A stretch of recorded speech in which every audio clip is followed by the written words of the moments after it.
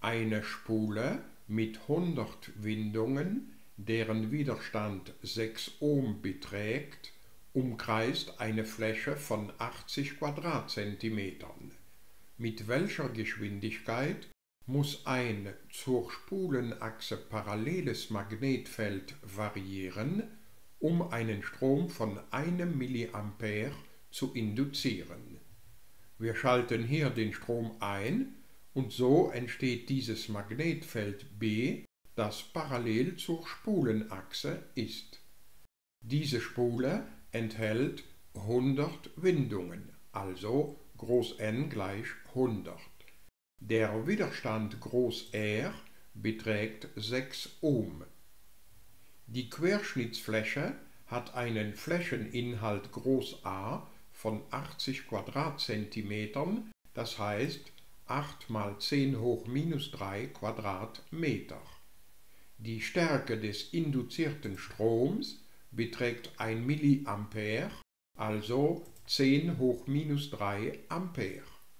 Gefragt wird dieser Bruch Delta B auf Delta T, den wir in Tesla pro Sekunde ausdrücken. Und um diesen Bruch herauszufinden, nutzen wir selbstverständlich diese Formel zur induzierten Spannung in einer Spule, aber auch das Gesetz von Ohm, weil ja hier R und I angegeben sind.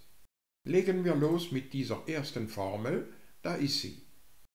In der Variation vom magnetischen Fluss bleibt die Fläche groß A konstant.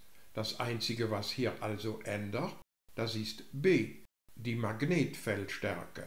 Demzufolge ist Delta Phi gleich zu Delta B mal A. Durch das Gesetz von Ohm wissen wir, dass die induzierte Spannung gleich ist zum Widerstand mal die Stärke des induzierten Stroms. Jetzt kombinieren wir diese zwei Formeln und finden daraus, dass Delta B geteilt durch Delta T, Bruch, den wir suchen, gleich ist zu minus diesem Bruch.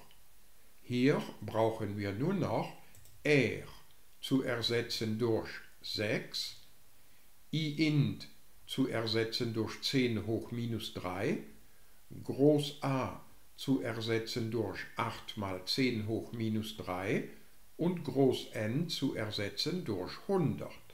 Und somit finden wir für Delta B geteilt durch Delta T minus 7,5 mal 10 hoch minus 3 Tesla pro Sekunde.